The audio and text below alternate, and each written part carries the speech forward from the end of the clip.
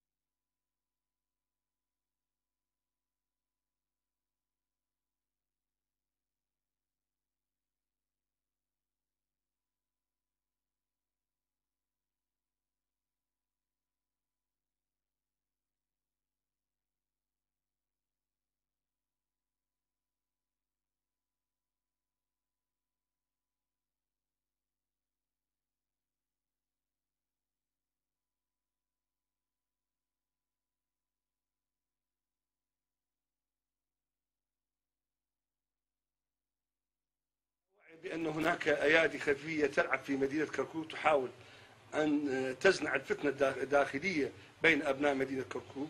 والوعي الجماهيري والوعي السياسي في هذه المدينة كفيلة أن تدرع هذا الأمر.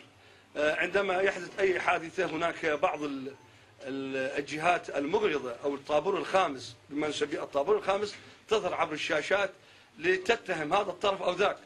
ولكن الوعي السياسي والوعي الوطني الموجود لدى أبناء مدينة كركوك كفيلة لدرع هذه الأمر. آه، هناك خطوات استباقية تتخذها الأجهزة الأمنية. ما هو الدليل بأن هناك وعي استخباراتي ووعي جماهيري باتجاه دعم الأجهزة الأمنية في مدينة كركوك؟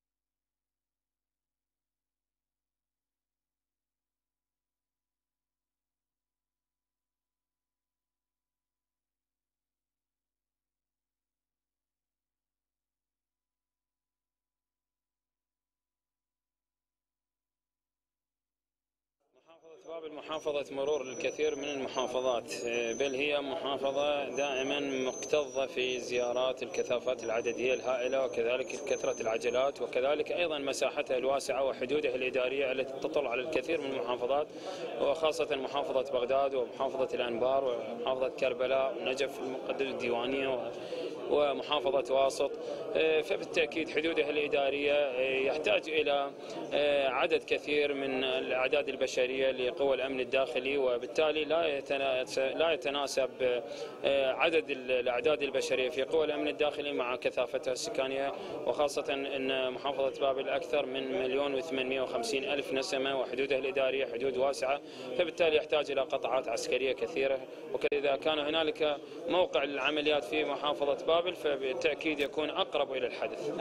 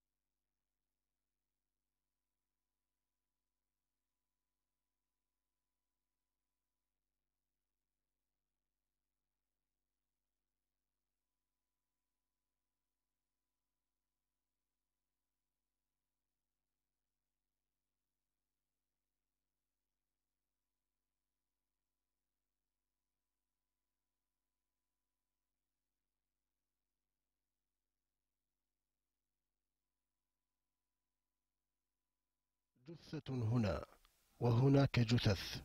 رائحة موت تكاد تشمها وأنت ترى هذه المشاهد. منذ عشرة أعوام وأرض العراق مكسوة بالرفات. فكم ابتلعت يا أرض العراق من العراقيين في العقد الأخير؟ هذا التصوير الذي نشر اليوم على مواقع التواصل في الإنترنت يرينا وجها آخر لعملية هروب السجناء. وجه قبيح وقاس لم تحتمله جدران الكونكريت هذه على قسوتها. يرسم هذا الشريط صورة حزينة لفداحة الموقف الذي شهدته هذه الأرواح قبل أن تفارق أجسادها. لا تعرض لنا الكاميرا اليوم التهم التي ألقت بهؤلاء خلف القضبان ولا الظروف التي ألقت بهذه الجثث هكذا ملقية على الأرض. تختلط المشاعر لدى المشاهد بين التشفي بمجرمين قتلة كانوا يريدون خرق الجدران لحصد مزيد من الأرواح وبين مشاعر إشفاق على من هم ربما يكونون أبرياء أو ضحية تجاذبات سياسية وتقاتل بين الكبار. المهم أننا اليوم أمام موقف إنساني لا يحسد العراقيون عليه.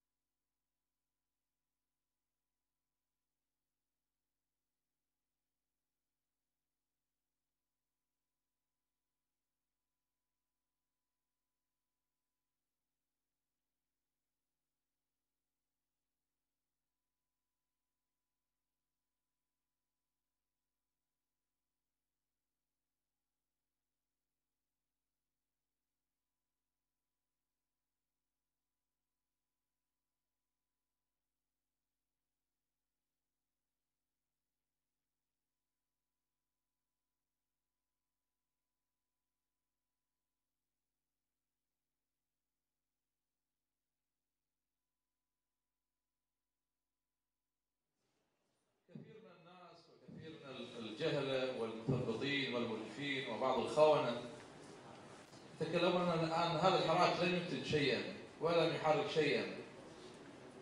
هذا كلام غير دقيق وغير صحيح. الحراك عمل ما عجز عنه السياسيون وما عجز وما عجز عنه الحكومة وكل الفئات الأخرى.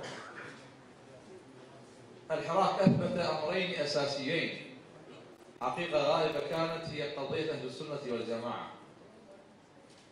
بريمر عندما احتله العراق أكد أن السنة أقلية. وعلى هذا الأساس بدأت أحزاب السلطة الطائفية المرتبطة بإيران بإغلاق بإلغاء مكون كامل. ليست هي العبرة بالأقلية والأكثرية لكن عندما يتم إلغاء محاولة إلغاء مكون مثل ما تكلم الشيخ محمد حمدون من الدولة ووزاراتها والاعتقال على الإسم وعلى الهوية هذا أمر لا يجب مغادرته. قضية أخرى قضية أهل السنة هوية أهل السنة. قضية أهل هوية أهل السنة ضائعة في العراق كانت قبل الحراك. الأكراد لديهم هوية وقضية ومشروع وكذلك الشيعة. أما السنة حائرون بين مشاريع ليبرالية وعلمانية وقومية وإسلامية في بعض الأحيان.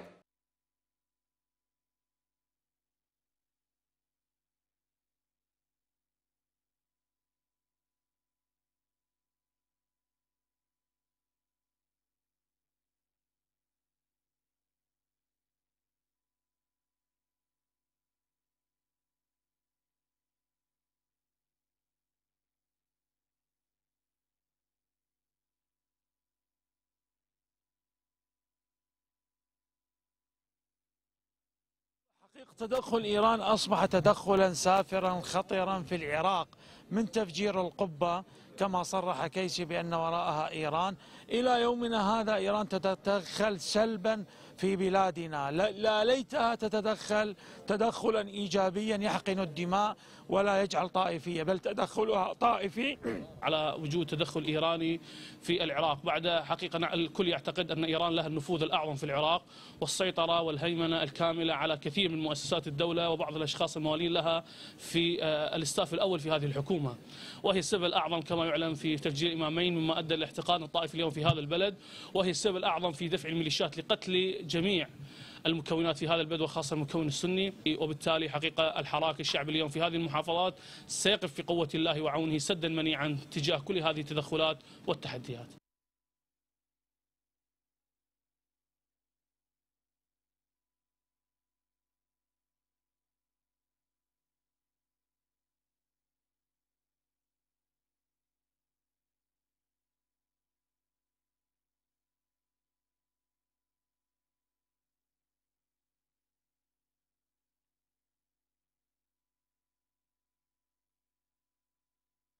نقطة تحول كبيرة في مسار الحراك وخطوة للأمام لن يعود الحراك بعدها كما كان. إنه المؤتمر الأول الذي عقد في الرمادي وضم قادة الحراك الشعبي في العراق. إذ ما يميزه أنه انتقل من العفوية والارتجال في التفكير والفعل إلى النشاط المنظم المدروس تمهيدا لإرساء قواعد مؤسسة تمثل سنة العراق. لكي يتوقف هذا الاستضعاف والاستهداف للمكون السني في العراق والذي يرتب هذه الواجهة إن شاء الله ويرتب أوراق البيت السني هو الحراك الشعبي في العراق لأنه الصوت الأقوى وهو الذي يمسك الأرض وهو الذي له الكلمة على الجميع لذلك ندعو كل أطياف أهل السنة من كافة توجهاتهم أن يلتقوا ويتقاربوا لكي يتغير واقع سنة العراق نحو الأحسن إن شاء الله. المؤتمرون قدموا أنفسهم ممثلا شرعيا للمكون السني في العراق باعتبار أن الحشود التي تشارك في الاعتصامات منحتهم تفويضا غير مكتوب عندما امتثلت للدعوات التي أطلقها ويطلقها قادة الحراك. واليوم وضعت الأسس التنظيمية لهذا الحراك. إننا نمارس خطيئة في حق الحراك أن نتركه يمشي إلى المجهول لأنه هو ردة فعل على ظلم حدث. واليوم أسست الواجهة السنية أو بداية تأسيس الواجهة السنية لرفع مظلومية أهل السنة. آه، لذلك الخطوات القادمة هي خطوات ريادة وقيادة أهل السنة. ليست هذه طائفية ولكن المظلومية الأولى وقعت على أهل السنة كما وقعت على العراقيين آه، جميعا. فنحن ننتقل الآن من الطور العفوي إلى الطور الجبهوي المنظم الذي يضع شمولية الحل لأهل السنة. ليس الحل السياسي وحده بل جميع الحلول الخاصة بأهل السنة من حيث من المحافظة على مذهبهم ودينهم من حيث المحافظة على نفسهم وعرضهم من حيث المحافظة على حركتهم السياسية. ما خرج به المؤتمر الذي عد الأول من نوعه لخصه الناطق باسم الحراك في المؤتمر الصحفي الذي أعقب انتهاء المؤتمر. لتحديد مسار هذه الانتفاضة والمحافظة على ديمومة واستمرار هذه الاعتصامات وتوظيف الطاقات التي قامت بوجه الظلم والتهميش الذي يتعرض له مكوننا السني وتشكيل عمل عمل مؤسساتي منظم وجبهة لمواجهة التجاهل المتعمد واستمرار الانتهاكات الخطيرة بحقوقه. وبعد دراسة مستفيضة للبحوث وأوراق العمل التي قدمت لهذا المؤتمر قرر المؤتمرون ما يلي. اولا اعتبار الحراك الشعبي في المحافظات الست المنتفضة الممثل الشرعي والقانوني للمكون السني في العراق. ثانيا إنشاء واجهة تضم جميع التوجهات في الساحة السنية مع الاحتفاظ بحق حماية أهل السنة في العراق والدفاع عنهم في حال تعرضهم لأي اعتداء باعتبار ذلك حق كفلته كافة الشرائع والقوانين السابقه لو مضت أحوال الحراك كما خطط لها فإننا بنظر المراقبين أمام ظاهرة سياسية اجتماعية كبيرة ستقلب أو تعدل التوازنات في البلاد.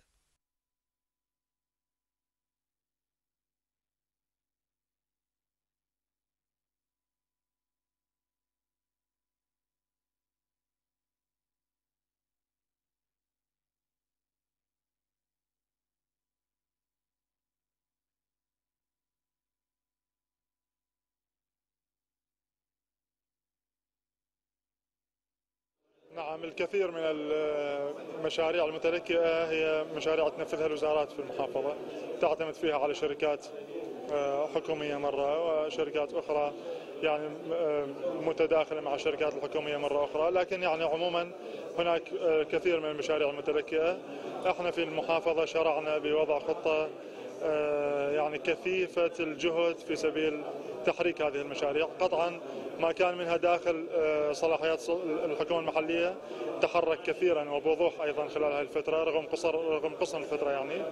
لكن بعض المشاريع الأخرى اللي تبناها وتولاها الوزارات يعني تولينا موضوع التنسيق مع الوزارات وحثها ومراجعتها ومطالبتها الدائمة في سبيل يعني الضغط على الشركات المنفذة حتى ممكن تقدم شيء آخر وممكن تحرك هذه المشاريع الممتلكه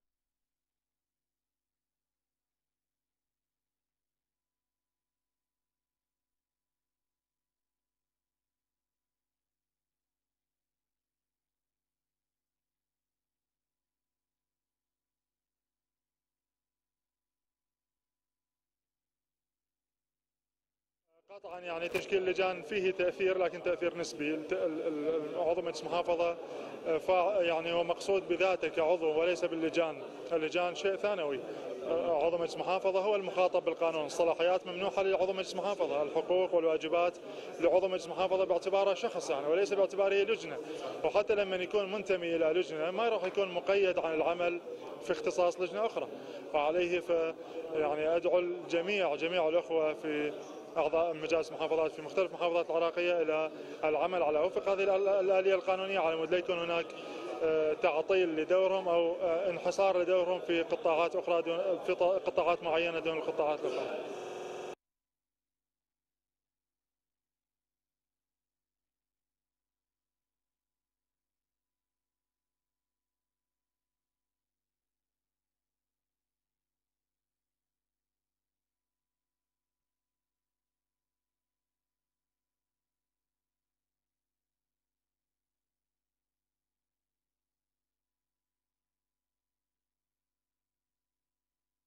سبحانه وتعالى أن أن يعني ييسر على يدينا أن نقدم لأهلنا بالأنبار شيء مما يصبون إليه من الخدمات ومما يسعد حياتهم إن شاء الله.